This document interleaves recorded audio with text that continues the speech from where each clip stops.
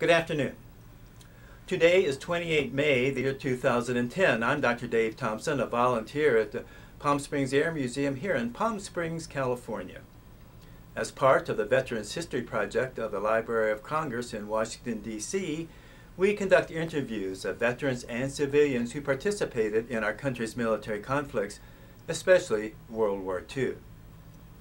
Today, I'm here at the museum along with fellow volunteer Greg Kenny and special guest Marjorie Harlow. Not Jean, is your middle name Jean? No. No, okay. you look kind of like her, same color hair and everything. And today we have the honor and the privilege of interviewing machine, uh, air, aviation machinist mate first class Hap Harlow.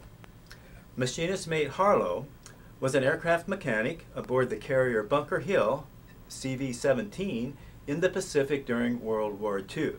So we're going to talk to him about that and a lot of other things. Hap, so glad to have you here. Same here. Okay, now let me get you kind of lined up here.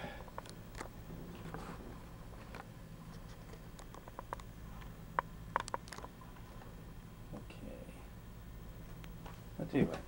Well, I'm going to move you over here just a little bit. I think got just a, a tad, a little bit more. Okay, there you go. That blue field clashes with your hat, so we gotta, gotta get it just right, right? Or Marjorie would Very be, good. Marjorie would be very upset about that. Oh, yeah, I get real uptight. Now, um, Hap, first of all, would you uh, please repeat and spell your full name for us? Well, my regular name is uh, Harry S. Harlow.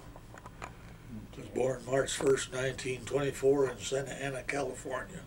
1924. So that makes you how many years young? 86 now. I look like you're going strong. Santa Ana, huh? Uh, that was a little bit different then than it is now, I would Well, assume. that was a big town of 25,000 people. um, and as we know, Santa Ana is kind of south south of Or LA, Angeles, yeah. down in the Orange County. And your dad, what was his name? Well, I'm a junior, You, okay. unfortunately. But, and uh, they never called you Junior, though, or uh, I had been. I finally outgrew it, though. okay. Got to be taller than my dad. and uh, what did your dad do? He was in the auto parts business.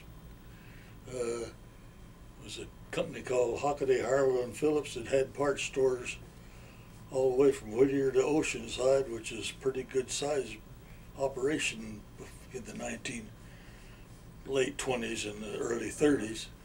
But my dad uh, had a collapsed lung in 1932 and had to sell his interest. And uh, due to health problems, collapsed lung and everything, he was required to, or suggested that he move to a higher altitude. So uh, went from Santa Ana to Lake Arrowhead, Mm-hmm. and uh, I had the extinction or distinction, or whatever you want to call it, going to three different high schools in three years. Oh. Santa Ana for sophomore, San Bernardino for junior, and uh, San, Palm Springs for a senior year. Graduated in 1941. From Palm Springs High. Yeah, wow. there's 28 kids in the class.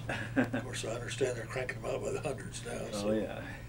But uh, Thousands. there maybe. again, it was a kinder and gentler time. Yes, right. Um, okay, and your, um, uh, how did your dad end up in California in the first place? Where did all the ancestors come from?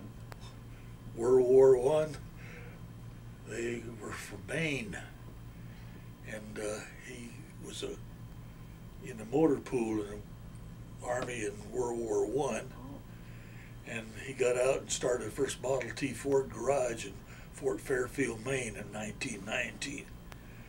But uh, he didn't care for that, and they wanted something different, so they had an opportunity with uh, several of his cousins.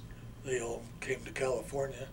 Some of them settled in Riverside, and uh, well, he settled in uh, Huntington Beach, then moved to Santa Ana. And started this parts operation that I mentioned in 1925. Was it like a, a, a, a parts store, like you go down to the, just a, parts just, job, you yeah. just walk in, kinda like you do now, Yeah. and, If you yeah, get your parts? Want a water pump for a Chevy? That's what you can ask for. Yeah. Uh, so when he was in World War One, did he go overseas? No, he was just ready in Newport News when the armistice came. So uh, Yeah. And your mother, what was her name and her maiden name? Verna Shaw Harlow. Okay, her, her maiden name was Shaw then. Shaw, yes. Uh-huh. And did they meet in Maine? Yes, uh, she. It's a long time. Only girl he ever took a shine to. And what did her father do? I don't know. That's, that's the unknown part of my ancestry. Oh, okay. um, uh, so, and you were, so when you were born, uh, you were born in Santa Ana. Yes, sir. And you're, you're, you were living where, or were, were they living right in Santa Ana? Yeah, but North Ross Street, Oh, okay. Remember the address? 1920. And how many years did you live there? Oh, from, uh, let's see, it moved there 31 and we moved out of there in 1938. Okay. That's when they went to the mountains. Yeah. But you were born in twenty-four? 24, 1924. And you lived, did you live in that house then? Yeah. Yeah, same one, okay. Um, and did you have any brothers and sisters? I have two, or had two younger sisters. They're both deceased by now. And what were their names? uh, Elaine was two and a half years younger than I was, and my other sister Janet was ten years younger. In fact, she was born on St. Patrick's Day of 1934, so she automatically got the middle name of Patricia. Oh. Was your family very religious? Did you go to church a lot when you were a kid? Yes, got stuck every Sunday in there. Where did you go? First Baptist Church in Santa Ana. Um, and now you grew up during the Depression. What was that like for you and your family? Actually, compared to many of them, it was comparatively easy. Was your dad able to work the whole time? He was, yeah. Okay, but he got sick later on. Yeah, in 32, his lung collapsed. Then he had another one in 36. That's when he had to sell out his interest. I so see. he was, in fact, they opened a big new parts store in Santa Ana 1931, which was unheard of. But uh, they managed it, and he run a, a good, close-knit organization. Yeah. Unfortunately, I don't have quite the organizational partners that he had. Did you ever work in the store? No, I never was old enough. I was big enough to get in their shipping department, and crawl through all their cardboard cartons and make a mess out of them. But other than that, Did you have any odd jobs as a kid? well, uh, they all came when we moved to the desert in 19, the later part of 1939 and 40, Oh, okay. and the early part of 41. Yeah. I uh, worked at a service station there to, for a fellow, a Shell station. It was right close to my folks' place.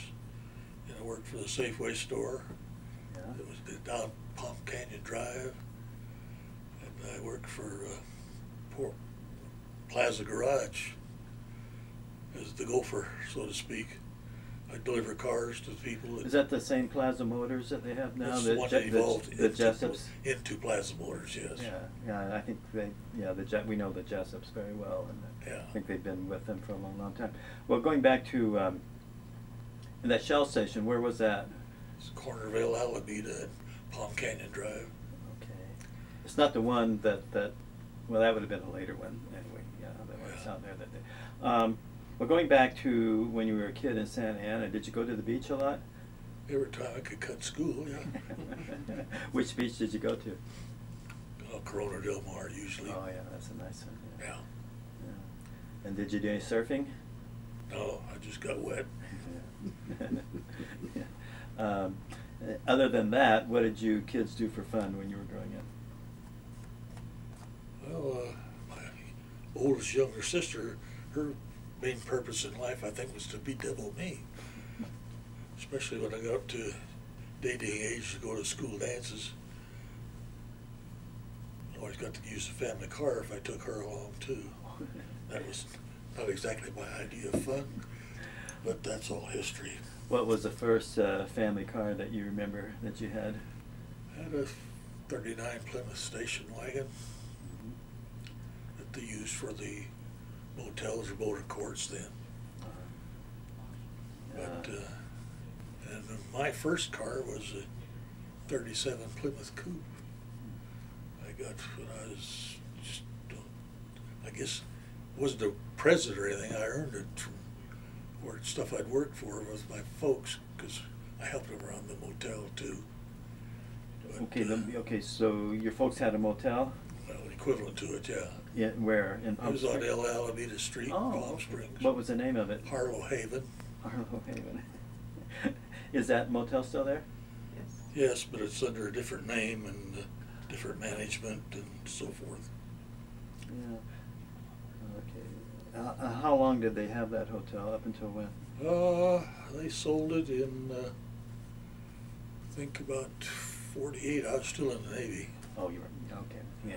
My, my wife's, uh, uh, she grew, she came here in nineteen fifty-six and they bought a little hotel on Alejo, I think, in, Yeah.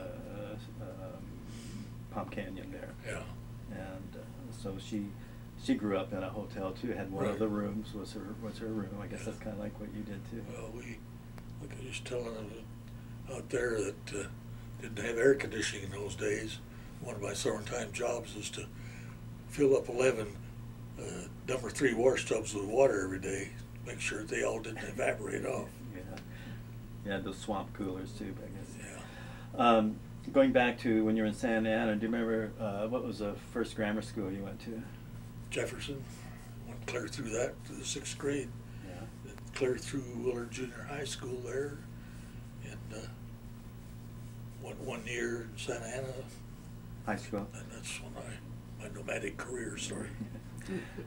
Did you, uh, play any sports in school? Uh, no, I was a high school football manager Oh, you were? his sophomore year, I didn't have time to get into any sports in San Bernardino because I didn't know enough people to. Now, when you, but you were living up at Arrowhead and you went to high school in, in San Bernardino? Yes, we boarded there. Rim of the World Oh, you did? hadn't even been built yet, so we boarded during the week. Oh, uh-huh. About a block away from the original McDonald's, which is a good habitat. Now, when, when was that McDonald's, when was, what year was That be 1939, 38, 39. So it was there when you were? Yeah, Oh, yeah, okay. it just had started as a McDonald's. And was it a big deal then? No, Uh, no, just a- Just a little, something that. Kind of like what your earlier drive is look like, typical. Yeah, well, I saw on uh, TV oh, a couple months ago. They had it was quite a long, very involved about the history of the McDonald's and Oh, yeah. how it started and how it ended up. Uh, you know, uh, Kroc, I guess, or somebody bought it. Yeah, know, he was a salesman and Yeah. somebody else, Yeah. bought the whole thing. And then it was their idea, I think, to do Yeah. the Yeah, the real fast food program, kind yeah. of stuff. I think the original was just kind of a normal. Well, the attitude before for the war wasn't quite as expansive as what we discovered after the war. So you moved to Palm Springs in what year did you say? 39. Later, 39. And what, what year did you graduate from? Oh, so you 41. You, I graduated. 41. You graduated. Uh, 28 kids in the class. Yeah. Do you remember some of those kids that you were? Yeah, uh, one of the boys, uh, Ham Hamilton, and I joined the Navy together oh, yeah. as soon as I became 18. Uh, Split, split between fourteen boys and fourteen girls for some reason. Yeah. And I know they never faced with Do you remember like some of the other names of the kids? uh? Oh, see, there's Don Pendry and Dick Outcall, Ray Sorum, and uh, the Hall brothers, Alan and of course, I even forget Bill. But uh, that's about all of them that I remember because uh,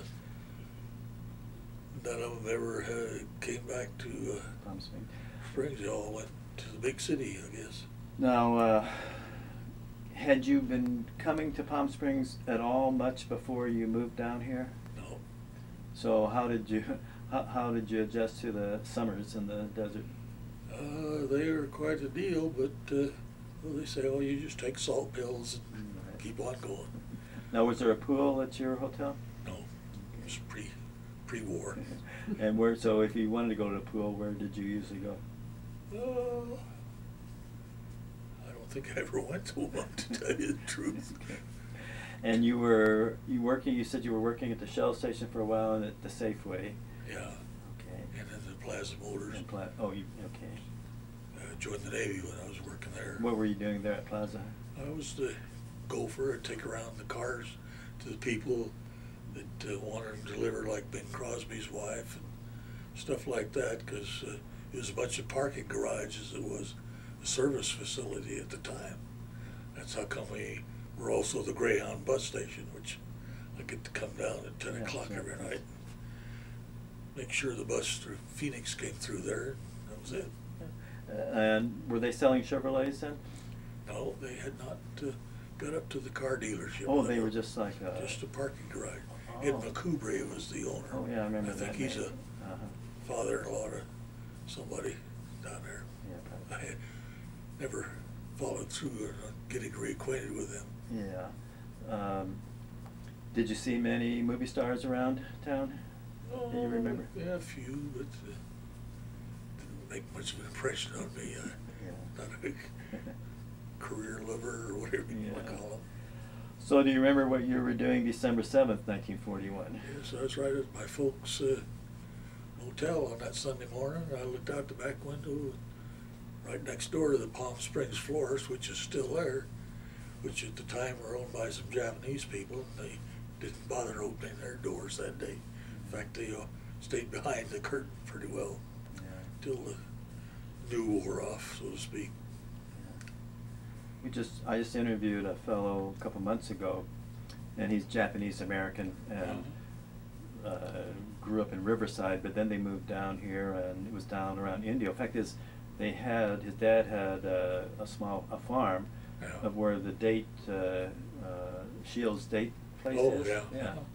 And uh, it was, and of course they had to go to the, you know, those camps over in Arizona. Right, and, uh, yeah. yeah, so it was, uh, yeah. Um, so, ha- were you up on current events? Could you see something like that coming, uh, Pearl Harbor at the I time? pretty well figured that, but uh, I was only 17 at the time. Yeah. And uh, I kind of waited till my 18th birthday, and then this is when I started getting serious about joining the service.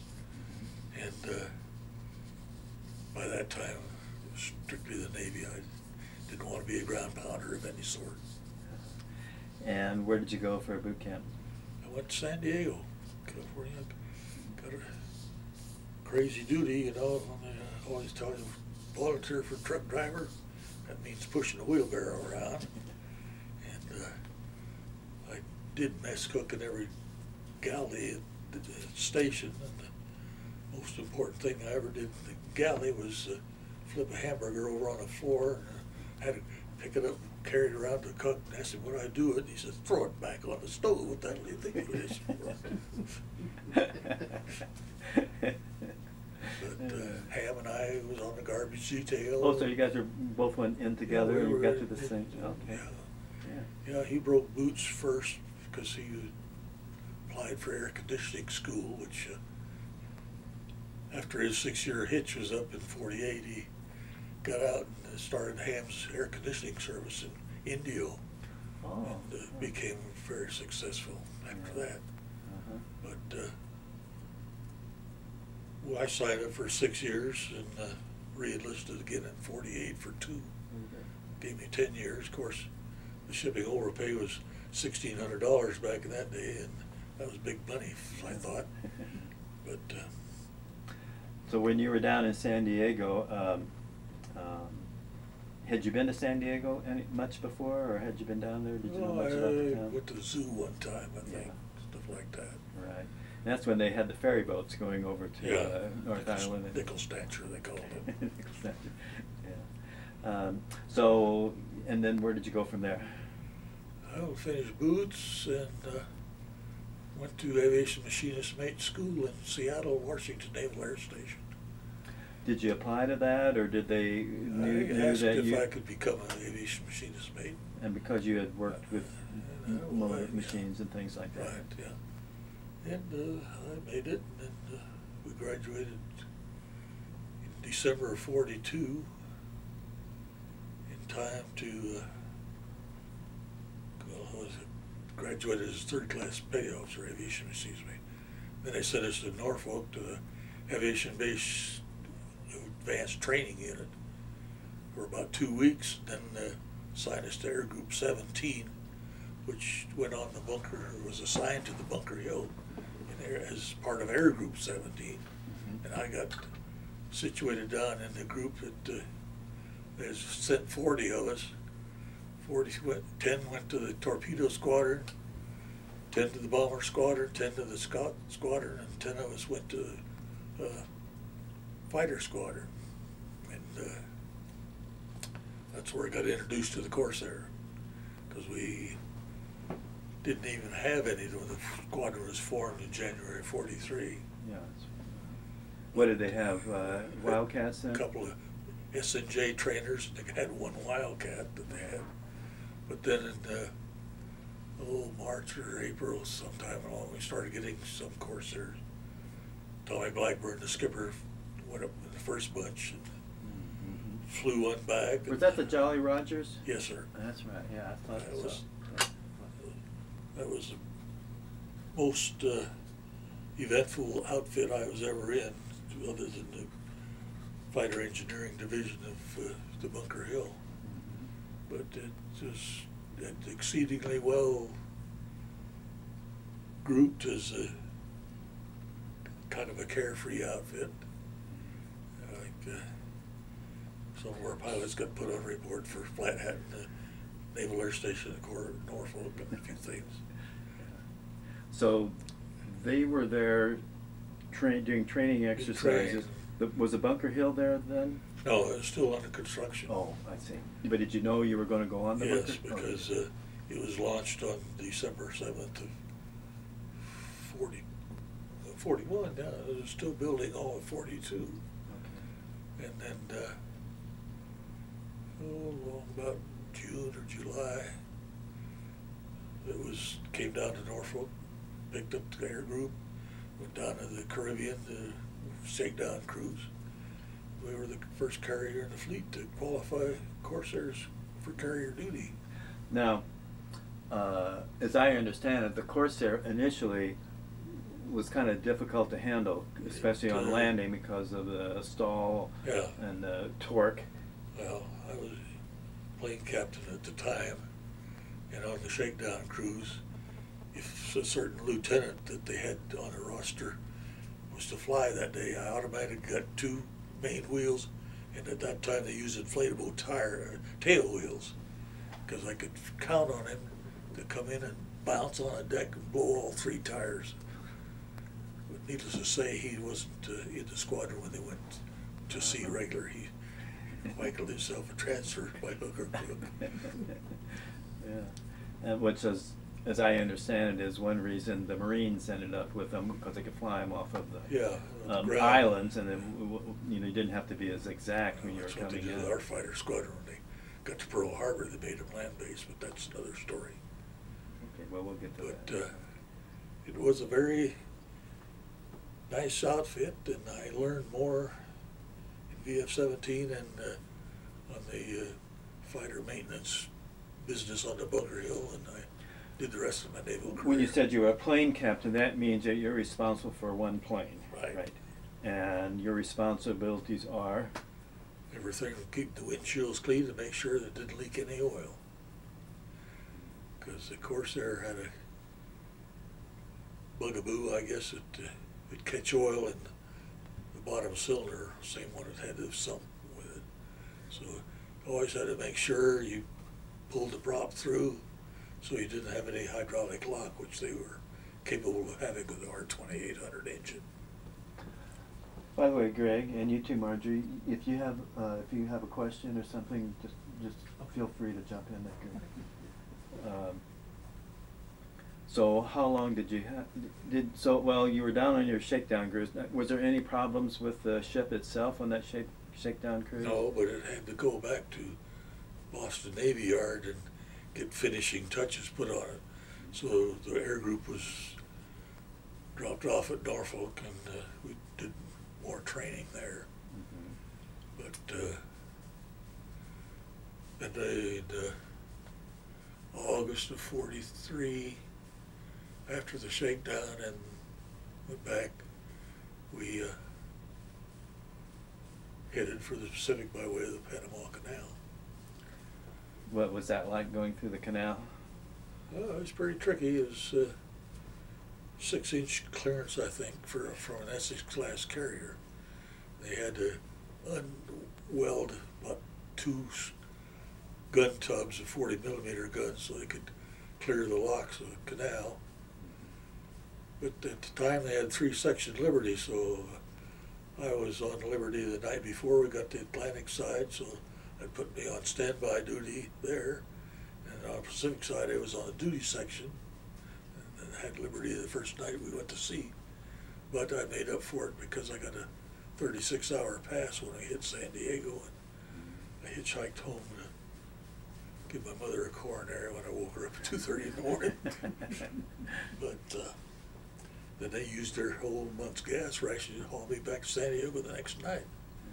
But uh, the transformation of the ship in that one day between had all our air group plus some replacement aircraft and a Marine detachment, a CB battalion.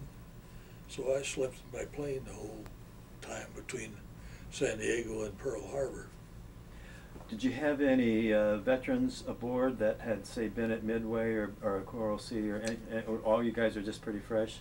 Uh, we had two pilots that had seen duty with F-4Fs, but uh, and none of the mechanics. The biggest one we had served aboard the Ranger in the Atlantic. And so you had, you still had Corsairs? at- Yes, we had there. Diego, And uh, dive bombers, what kind, what did you have? Had we were also the first carrier to carry the SB-2C Hell divers. This, was it as good as the SBD, or what? No. I didn't think so. They used to always call it the Beast. The poor mechanics on that thing worked forever. You always wonder, why, why did they change? The SBD was, seemed such a great oh, plane. Oh, it was a good old plane. It just they thought it was obsolete because it wasn't quite as fast, but it did a better job, I thought. But Yeah. And I you're- never worked on any of them either. Well, they're the ones that, you know, that hit the Japanese carrier, I mean, Yeah. sunk those at the midway. Yeah. And the, um, the, um, torpedo bombers, what, what did you have? I had TBFs. Avengers, yeah, Yeah. okay. And did you have, um, any, any other planes besides that? Those three? Well, we had a 36 plane fighter squadron, Oh, your fi- VF-17. Well, that's your, the your, your bombers course, was your course. 36, Right. and the torpedo squadron was only 18. Oh, that, that. made That's that- the way that Yeah. for Essex class carriers, the way they had them categorized. Do you remember, okay, now you're, the guy that wa- was having trouble down, when your shakedown cruise, is he long gone? From your, so, you- but you had a, pl- another, you had a plane? Yeah, I had the planes. And who, who, did you have one plane? one plane And who, one do you, pilot. and do you remember the pilot you had then? Oh yeah, his name's Earl May.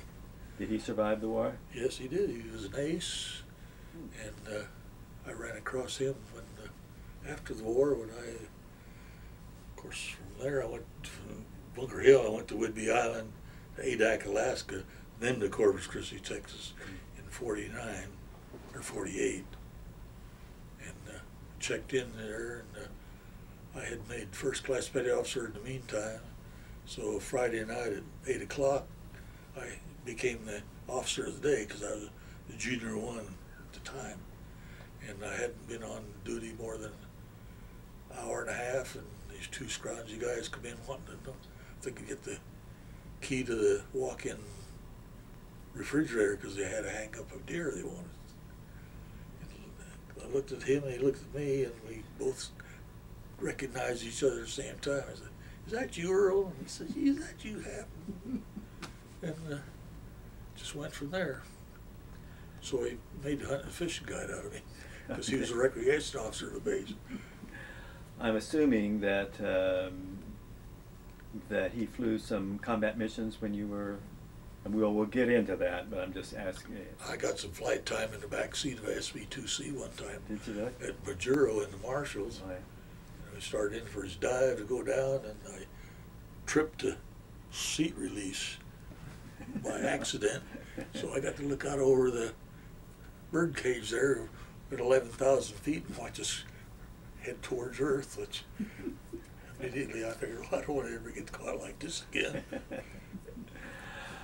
But, um, what was the feeling if, if you knew that your pilot was going out and, and might not come back again? I had that happen to me. I was the first plane captain after those Corsairs were gone, and uh, VF-18 took VF-17's place. And I happened to be the plane captain on the first casualty at 11th of November at Rabaul that lost a plane.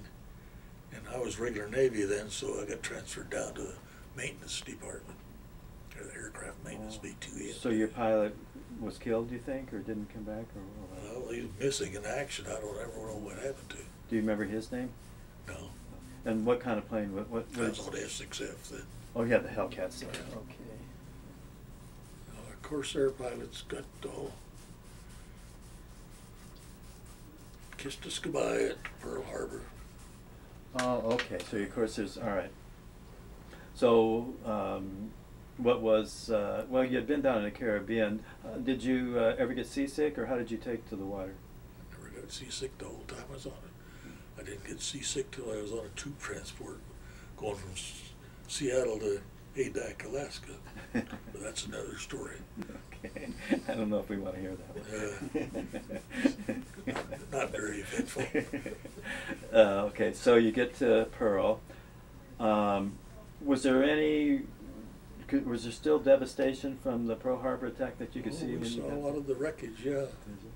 That was in uh, the fall of '43, September, October, somewhere along? Because our first day of combat was Armistice Day, 11th of November of '43. Yeah.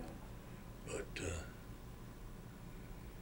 now we had uh, two weeks to learn F6Fs after getting dethroned from our Corsair position. So we went over to Kaneohe Bay to the air station there, trained for two weeks. They both, those planes have the same engine, Yeah. they? Bo- About the same size, except that the Corsair has those gull wings and the well, uh, Hellcat has a straight main wings. difference in between the power plants was that the Corsair was a updraft carburetor, where the Hellcat was down, downdraft.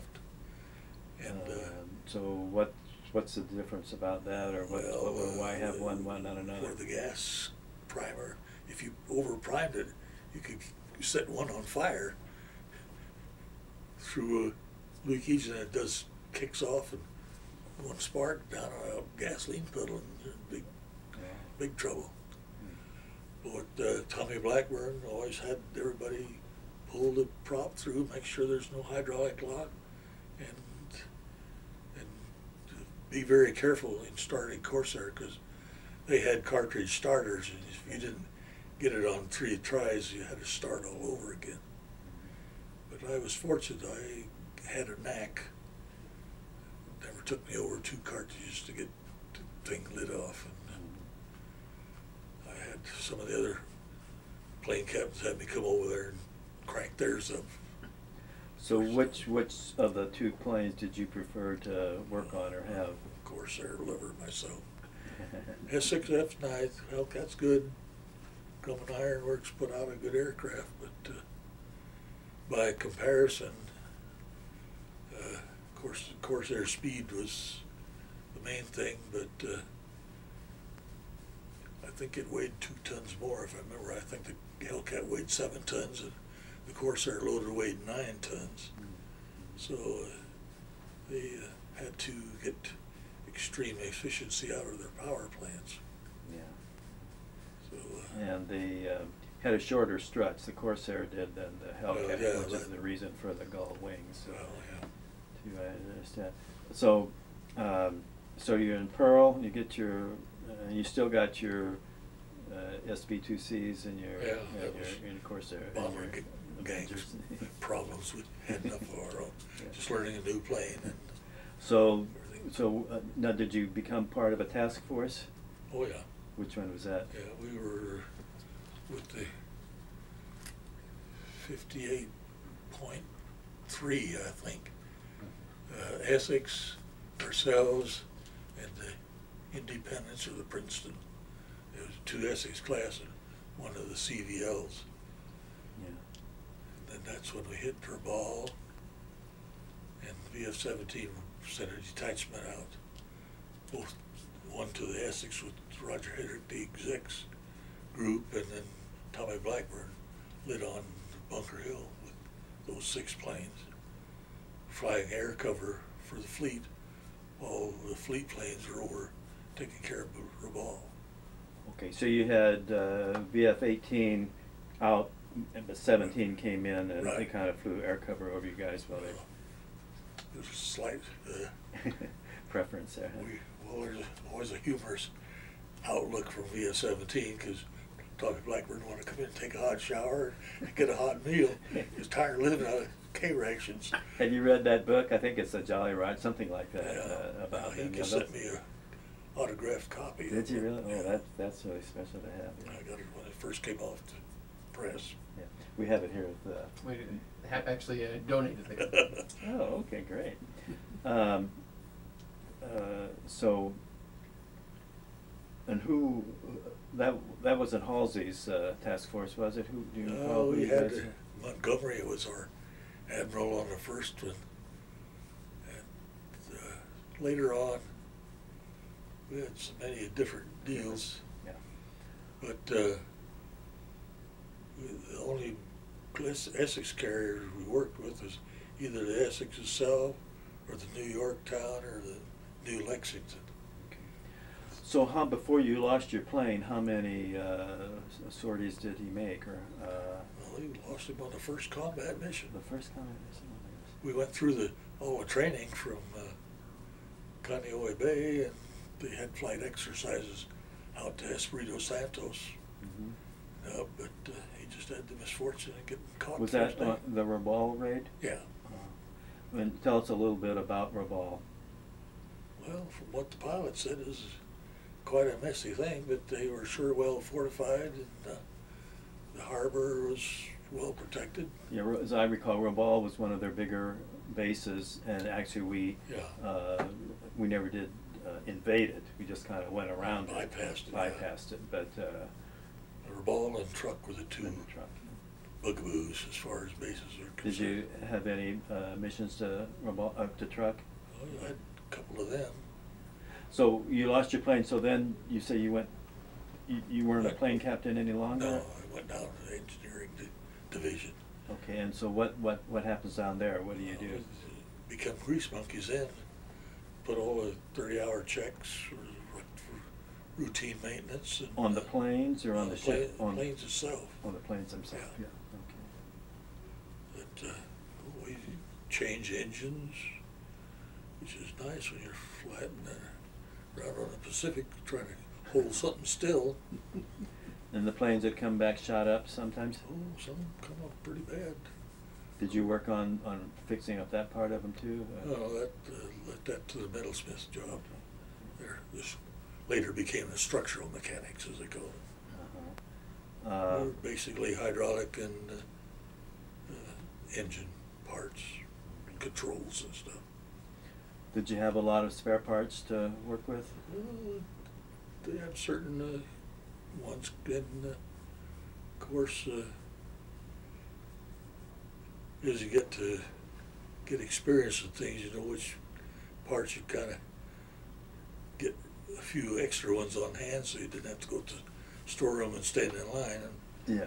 wait and stuff like that. But uh, I got the culmination of that operation in Korea because I was the guy that came to, to get everything from deck shoes to spark plugs. So we're, you're in your task force, um, would there be like one carrier and then you'd have some other ships around you, or how, how, how did that work? Uh, they always had three carriers, usually two Essex class and one of the Independence classes, Mhm. the CVLs. And destroyers around you? Oh, yeah, we had a lot of them. And, Yeah. Now, did you, uh, undergo, uh, any, uh, enemy attacks? Oh, yeah. Tell me about some of those. Started right at Rabaul, and uh, I guess the worst ones came when it was off of Tarawa for some reason or other. I know I was on a belly tank hanging detail in the one that they always worked in groups with three, one for the front end of the tank, one for the back end, and then usually a chief along to give you the word all the time, but, uh, we got, uh, some Bettys going after our port side. Twin We're on this- engine, twin engine bombers. Yeah, we, uh, on this Billy's tank detail, and ours was the last plane to come in. So it was right there by the deck edge elevator, cause they So you were gonna switch tanks? Is that what you're? put, oh, put on the one that, replaced the one they dropped. That's what I mean, yeah, yeah. And So, uh, we got the thing on there and I made the plane come down to the lower deck, the hangar deck. So when the elevator got back up, we climbed on that and went down, down to the hangar deck. Meantime, general quarters sounded. They shut all the roller curtains, stuck us out, three of us on this deck edge elevator on Essex class carrier, down, and then they started zigzagging. We took water over the front end of the elevator. We were trying to wrestle this tank at the same time. So we had a very good time. Big sea story. Did your ship take any hits? Uh, yeah, we came back from battle damage. That, uh, that was a year later though, the first Okay, time. Well, well, we'll get into Uh, that. the Rabaul and some of those earlier ones, we didn't uh, get hardly any damage, but uh, we got a lot of near misses. Mhm. No kamikazes till after I got off, so. Okay. We had some close ones though, but uh, yeah. the farther the war progressed, the more active it became, so to speak. And were you below decks most of the time when, Yeah, when, when worked they off were? the hangar deck, When they except were. when we were on a belly tank detail and the hangar flag. Well, that, that's, I mean, what are your thoughts when you're down there that if we get hit hard or bad, you know, am I gonna be able to get off this plane, off this thing? Later on, as one time in forty-four, we got a near miss and uh, scattered a lot of shrapnel through. I got a piece right by there. So I went down to the sick bay with everybody else. And if you had a tetanus shot through the, their sorting system, you got a purple heart. But if you didn't, you just went back to work. Lucky me, I went back to work. Uh, yeah. So that first um, cruise, so to speak, uh, was how many months or? It's uh, actually uh, just about a year, from 11th of November 43 to 11th of November 44. That's why we got to think about the Holiday Express there. Most of our actions were on holidays Oh, for some reason. Around that time, yeah. Okay. And uh, uh, so during that period of time, they were all pretty much in the same area, or you, were you moving on? Well, we What, worked, what, what were some of the islands or the battles that uh, you oh, were we in? went up through the Marshalls and the Gilberts, and then Weetalk and Ulithi and Truk and Any We were up into the Philippines in the latter part of the cruise. Uh-huh. Any problems with submarines? No, we were always protected by the Mhm. destroyers and Yeah. company type ships.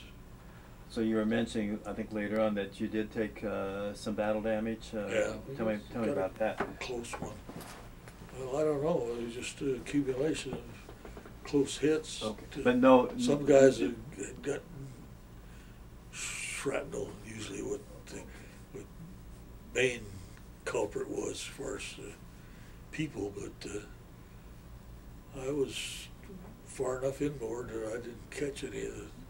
Stuff like that. Uh, But But the n- reason for the ship to go into Bremerton for repairs Yeah, was was. from basically, basically battle damage. battle damage. Being out there for a year, Yeah. get pot shotted at. But stuff. no direct hits where you No. were, where you No, they got those after I got Well, I thought, because I thought that Bunker Hill got, Yeah. got hit pretty It good was with May kamikazes, 45. wasn't it? I got off in January of forty-five. Well, well, okay, tell me about uh, what happened to it in forty-five. Well, uh, after I got off, you mean? Mhm. Well, that's when they took the big one uh, Max Kennedy wrote the book about uh, two uh, kamikazes hit one uh, right about the midships and one right in the number three elevator. And it was a rough mess because uh, this buddy of mine from Plymouth, Massachusetts, he lived through the whole thing and uh, he got from the hangar deck to the flight deck by crawling on the outside of the ship. Some guys in a gun tub threw a line and Mhm. hoisted him up and everything. So he said the hangar deck was a mess. Airplanes would melt down, the engines, the whole pile, just a pile of uh, aluminum. Fortunately, I never got into anything that Yeah. Yeah, there's photographs of that, I Yeah, think, in, yeah. in ships that are pretty, uh, Yeah. uh, famous. But, uh, I value my two years being aboard the Bunker Hill, because I think we saw a pretty good active part of the war from 11th of November of 43 at Rabaul till up through the Philippines liberation. Mhm. So in on the Marianas turkey shoot. That's when we Oh. first uh, had some night flying done. We even had a Jap in our uh, landing pattern wanted to get aboard, but they kept waving him off. Finally, run out of gas and splashed. Yeah, I But, remember uh, hearing about that. yeah, stuff like that. But uh, Yeah. when uh, I guess it was Mitscher had, had ordered the fleet to lights on because they had all these planes coming back to Philippines. Mhm. That's, in fact, I was, I don't know, doing something on the flight deck, even though I was supposed to be on the hangar deck working. Plane that I was doing on some knick-knack thing. But uh, one of the planes come in and bounced over the barriers and lit on top of a plane. They pretty good fire going, which, of course, I was way up forward and jumped into the catwalks to get out of the way, but uh, scared the fire out of you pretty well. Yeah. But uh, I'm proud of the service that I gave wartime. Absolutely. By the way, I want to go back a little bit. Did you, uh, did you have any, uh, were you married at the time when you were in the service? Did you have anybody special back home? No, not then, anyway. Okay. Uh, and so, why did they transfer you off then when they did? Just uh, normal. Just, that's what's just, because uh, they had sent me to F4U school down in Los Alamitos. Well, the first half of the guys went on leave, and uh, it's been about a dozen of us went down, not realizing we had already had Corsair experience. In fact, we knew more about them than the instructors did, but then we didn't tell them that. But uh, a bunch of us got together on Christmas Eve of '44 in Hollywood bring to the old days. But uh, like I say, I enjoyed my time with VF-17 and Bunker Hill yeah. As much as I did anything in the Navy. But I went to a lot of other places, uh, Whidbey Island and then to Adak. What were you I- doing at those places? uh, was- Well, uh, biggest thing I did at- in Adak was learn to become a flight engineer on a PBY. Really? So you went up, But uh, I just came back from engine school to Whidbey Island. They put me in charge of the engine change shack. But uh, I guess that whatever their rotational schedules were, it didn't matter where you worked or what horsepower you had or anything else. You, Yeah. time to go. yeah. So the draft going to Alaska from Seattle, they put me in charge of it. I asked the master sergeant, what the heck did he put me in there? I'm the junior one of the bunch. I said, oh, I just went down the list and used the first name I could pronounce. so just that kind of luck was a good portion of what I had. Be in the right place at the right time. And where were you when the war ended? Engine school in Chicago. That's where I made my first mistake of getting married. Oh. Did you marry someone from back there then? Oh, yeah. She was. I called her a Chicago improved Okie. Uh, That's not for publication. Behave yourself. yeah. And um, okay, so um, and then you decided to stay in the Navy, did you? Yeah, I'm, I'm ship over for two years. It was like, cause the peacetime Navy was a picnic. I had so much good duty I couldn't stand it. and uh, where did you? Uh, where was your next duty station then after that? Oh, in Corpus Christi, I was at Rodd Field Auxiliary Station, Cabaniss Field Auxiliary, Navy Recreation Barracks in Port Aransas, Texas, when I was hunting and fishing guide for a year and a half. Mhm. And uh, when that closed, I had to go back to the theater at the main station. We had a choice of working in a theater or working in a hobby shop. And I ended up being the store manager of the store at the hobby shop for a year and a half. Had an expense account to fly to Dallas twice a month. All I did call for an airplane down at operations and go down and got acquainted with a first class enlisted pilot. So we made the trip twice a month and bought the hobby supplies and stuff. But uh, we had expense money, five dollars for a taxi cab that we hitchhiked and got a bottle instead of. What do you expect from a bunch of sailors? You know?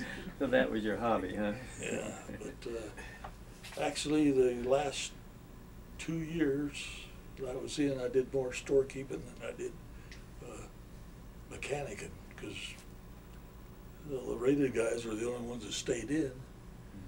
So they're just uh, surplus. But this chief storekeeper that I knew in Whidbey Island from when I was in the engine change shop, he asked me if you want to be an expediter, and I says, "What's that?" He said, "That's the guy that chases the parts through the system right now without having to wait three days for it to work." To call them air, OG, AOG, aircraft on ground. That was the priority that used, and uh, I did that for about the last year that I was in. And when did you get out? I got out January of '50. I was the first sailor discharged from the Naval Air Station, Corpus Christi. I run into a buddy of mine that uh, we had been to Class A mech school in VF-17 together. He went down when we were land based because he was a hydraulic specialist. He says, "Come out and be a weekend warrior." And see, I was trying to go to school on the GI Bill, hundred and eighty dollars a month, and come out, play around at Los Alamitos for a weekend, get extra twenty-seven dollars and twenty cents. That made my income over two hundred then. It was in tall cotton. But uh, I didn't know that uh, about four months down the line, I get a telegram saying, come back to active duty. That's when uh, I got the reserve squadron, like I say, it had F-4U-4s with four-bladed props, which is an improvement. And uh, in the process, uh, they had gone with downdraft carburetors because the updraft were fire prone if you didn't know what you're doing. And uh, it was a picnic compared to South Pacific. Oh, Uh, yeah, that's for Korea. Yeah. We ended up going to Korea on the Bonhomme Richard, and uh, I had a first class petty officer's mess, it's- so separate from the regular enlisted guys, because the chiefs already had theirs. And uh, even coming out of Japan one night, in the first class mess, we had frog legs, which he talked to the GI and he says, well, what dream ship are you on, you know? But, uh, So what you had done, you'd gone into the reserves, but then come back on active duty as Yeah, a for- reserve. yeah, did two They needed you for Korea, basically. Yeah, well, uh, this fellow, buddy of mine, his, his name's Red Edmiston, and he, he and I, in this reserve squadron, had more Corsair experience than anybody. So we just ran it. In fact, we had a chief come in one day, he had to check in with me. And the next day, he had to check out with me. And I said, I don't know how you got what you got, Harlow, but uh, says, I sure wish I had got you transferred out of here, but I, they transferred me instead. What, uh, the Bonhomme Richard, what was its, uh, designation? Number? CVA 31 It's an Essex class carrier. And, uh, did you have any sorties off of Korea? Yeah, we flew uh, off all reserve pilots, but we had the best uh, maintenance record and the flying record of any reserve squadron out there. They lose anybody? No. No, we were. And then usually they would be strafing and stuff like yeah, that, ground support? Yeah, yeah, ground support was their basic activity. Yeah. So, like I say, it's different as climate change. It was like going on a pleasure cruise, but uh, we still. I got a letter at home. S- Says our squadron had the best maintenance record of any reserve squadron going. So that was signed by our skipper. So I figured if he's a lieutenant commander, he should know what he's writing down here in black and white. So when you went off active duty then, uh, what did you do after two years? Well, I got out of the Navy and went to work at a parts store for a guy that used to work for my dad when he had a parts store and blah, blah, blah, Where was that? in Santa Ana. Uh-huh. I ended up back there. Yeah. Well, I meant to ask you, your, your buddy from high school that you guys went to the Oh. Navy together, where did he go and how did Well, he he went on a destroyer as the air conditioning guy. And uh, then he got out after six years, and went into the air conditioning business in Indio. you, told me that, yeah. Yeah. But uh, Air condi- where was the air, oh, in Indio, yeah, that's yeah. right, yeah, you Ham's. Air Conditioning Okay. Service. So you're back at the parts department in Santa Ana. Yeah, I worked for him. And I uh, thought I'd make more money working for another guy and give me a tantalizing offer. But I'd already uh, kind of been playing around, thinking of going in business for myself. And uh, I didn't last very long with him as soon as he found out I was going in business for myself. But uh, we started, had one partner and also had worked for my dad in the, back in the twenties and the thirties. But, uh, he had done all the shop work, repair work, so he'd take care of the machine shop end of it. And I did the parts, we hooked up with an APA or Napa. Mhm. And we had the first Napa store in Santa Ana. What street, where was 50 that? uh, Corner of Fifth and Bush in Santa Ana. And we moved out to ten thirty-nine West Fourth Street in nineteen fifty-nine, because we'd grown and the bulk of our business came from the west side of town, because all the other parts stores were east of us, Mhm. except for one. But, uh, well, I did that for counting the parts stores that I worked for, owning half interest in one in Santa Ana and owning one in Yucca Valley. And then afterwards, working for two different car dealerships. I did twenty-three years in the auto parts business. Mhm. I became an outside salesman and did that for twenty-three years Hmm. before I retired, Wow. after ten years in the Navy. Selling parts or cars or what?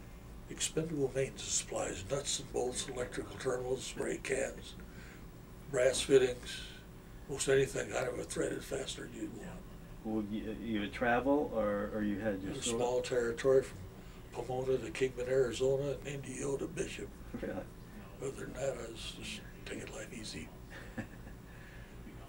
What, what, what kind of car were you driving around all those I ways? wore out five pickups in that time, Ford pickups. Yeah. And where did you, where were you living most of, where did your kids grow up? Uh, Yucca Valley. Yucca Valley. Now, are you uh, uh, married again by this time or, or what? Yeah. Okay, and your second wife, where did you meet her? What was her name? Uh,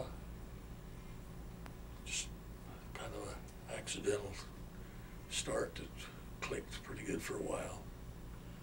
Her name was June. June. And she had four kids. That was the biggest trouble, Oh. raising the kids. But uh, Oh. we had one of our own. And what was your, what was your child's name? I, I was Molly, Oh. my daughter, And where does she, where does she live now? Yucca Valley. Oh, okay. My son got a son and just had a grandson. So I got four generations of Harlows Wow. living in Yucca Valley. And Yucca Valley. What's your son's name? Harry. Well, what else? We call him Russ. His middle name is Russ. He goes by Russ. Okay, so you have, uh, how many grandchildren then? Uh, Let's see. Five, Well, yeah, five, yeah. And a great, three, One great, great, Three. yeah. four great grand. Yeah, four great grands. I can't keep track of them. They're Going on too fast. And, uh, where do you, what, where do you live in Yucca Valley? Up in the north end of town, almost into the Yucca Mesa area, The- What street do you live on? Buena Vista Drive, Okay. So you've been in Yucca Valley for how many years? since nineteen sixty-three. Wow. Yeah. And, um, and this, this pretty young, la- in fact, this young lady, why don't you go over and sit next to me? There, If you would. Oh, Uh, Marcia, where did you guys meet? we met, I was a waitress in Yucca Valley. At Yeah. a place called Ray's Cafe. Is it still there?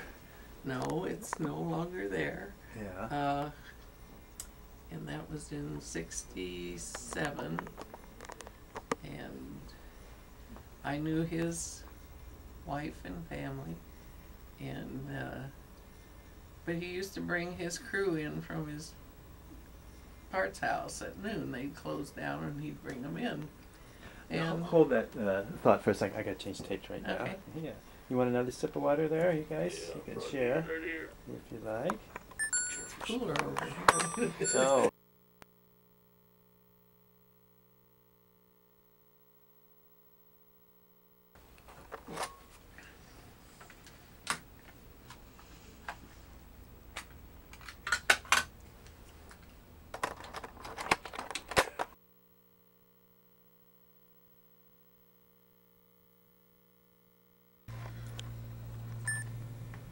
He'd bring his buddies in. Yeah, bring all his crew from his business in, and uh, I'd serve them lunch every, just about five days a week, and What what did they? What was their? What was the bill of fare? What did they usually like I for think lunch? they usually all loved the hot beef sandwiches.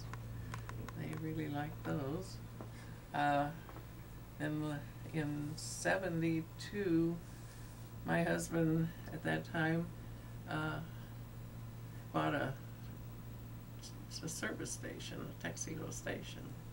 So I worked there and and also waitressing. I learned how to put air in tires, check oil, and when we did a lube job, we we not only vacuumed but we cleaned the windows inside and out, which you don't find anymore.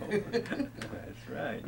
yeah, and uh, so over Well, the years. Texaco, I remember the old Milton Berle show. and Oh they yeah, had the- you know, Milton they had that yeah. that uh, commercial, and they'd be singing, and the guys would be out there wiping the windows and all that stuff.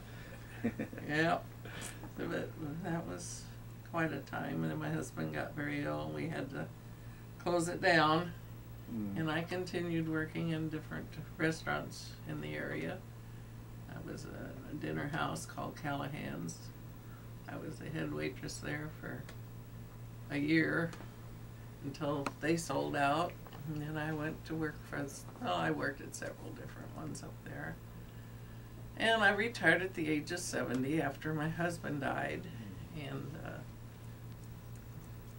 so I had three children and What are their names? I had uh, Ted, he's the oldest. He just retired from the school district, uh, Morongo Valley, or Morongo Basin. Basin School District. And I have a daughter, Linda, and she lives in Palm Desert. And I have my youngest son, Mark, also known as Charlie. He lives in Riverside. Okay, all pretty close by then. Yeah. And you have grandchildren too? I have one grandson and one great grandson. Okay. Oh. And where did you grow up? What was I- your What was your maiden name? My maiden name was Maynard. My father was a newspaper man, and he took me with him a lot of places. When I was about maybe ten years old, he used to take me out to the Fullerton Airport. We'd get on the he his buddies at the pilots out there. They put me in the old Stearman's and take me for rides. And then I was privileged to ride in a trimotor Ford that used to carry the mail from Fullerton Airport to the Los Angeles Airport. And I got to ride in the final flight of that with my dad. So, and then when Pearl Harbor that day was a Sunday, I'll never forget because Dad grabbed me and off we went to the newspaper office and the teletype coming through. And we were there all day long, watched, reading that. And in the meantime, right across the street from the newspaper office was the fire department. And we had our car parked over there. Well, when we went to leave, our car had been stolen. so that day, we just, we Uh-huh. remember that very Oh, well. Oh. Yeah. And during the war, uh, I did, when I got older, uh, 16, 17, they used to get the girls the USO, and we go out to the Air Force Base there in Santa Ana and dance on Friday nights. And uh, I had a brother that went in the Navy. He was, uh, he went to UCLA in, uh, in the ROTC, in ROTC, and uh, he graduated from there and, and went on, he, but he didn't see act, any service until, uh, Korea, so.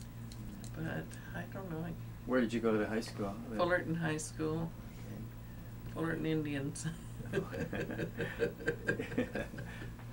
And then how did you? Uh, uh, did you go to college after high school? No, I got married and I, uh, I had my children, we lived in San Diego, I married a fellow from San Diego. And, uh, when, in sixty-six, we moved to San, to Yucca Valley because of my husband's health. And, uh, like I say, I was a waitress and raised my kids there. And so, um, then, and you've been married for how long now? Hap and I have been married eight and a half years, and it's been wonderful. We had both lost our spouses, and and we ran into each other at the tortilla section of Stater Brothers. and that started it all, didn't it? Yeah. Uh, so you But have fajitas every anniversary, I guess.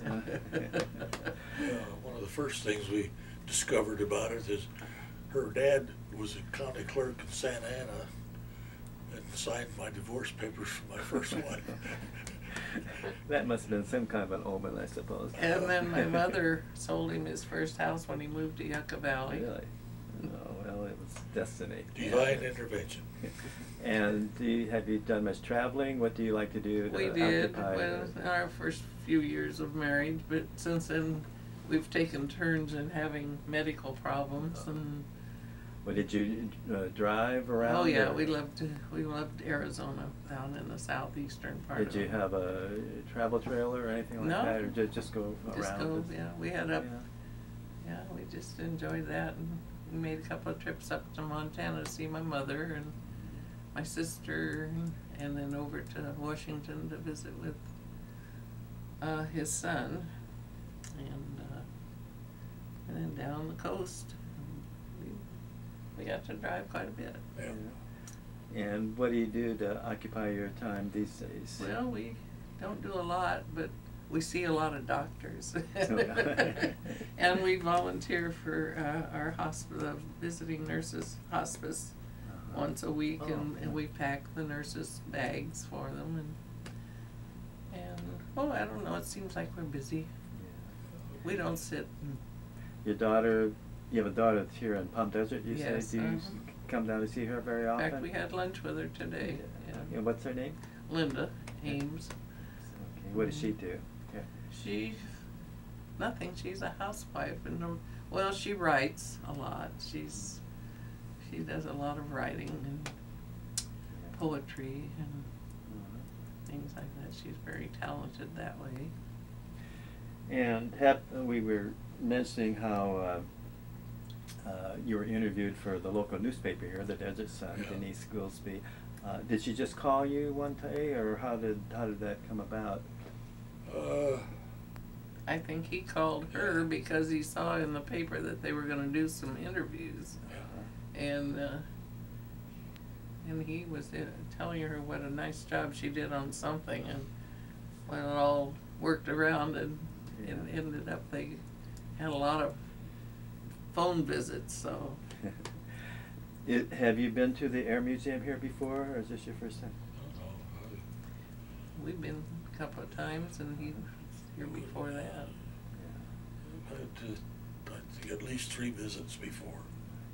Okay. Um, well, I think we're maybe getting ready to pretty well wrap it up. Is there anything either of you would like to, anything else to share that we haven't covered? I can't think of anything. Can you, dear? Greg, got anything you'd like to Oh, I ask? Any questions? This has been great. okay. I usually, uh, at this point, I like to, um, you know, we have a- a lot of young people going into harm's way these days, Oh, yeah. like you did years ago. If you had any advice for them, what might it be? You mean like join the Navy? Yeah, he advises all of them to join the Navy, Okay. stay off Just get that land. Thing. place to sleep and get three squares a day, Yeah. Yeah, but, uh, I have a lot Uh, of feelings about it, but I, I don't know that I've seen so many. I had to spend some time in a, in the emergency room at our local hospital. And unfortunately, next to a young Marine that had tried to take his own life. And there's so much of that, but people don't hear about that.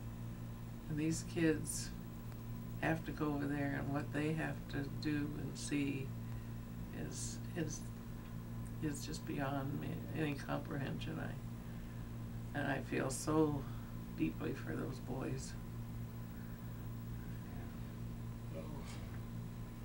But with the good Lord's help, we hope we can bring them all home pretty soon. That's right, yeah. Hap, I want to thank you for your service to our country. Well, Thanks for you. coming in and sharing with us. Margie, thanks for coming in too. Really enjoyed this.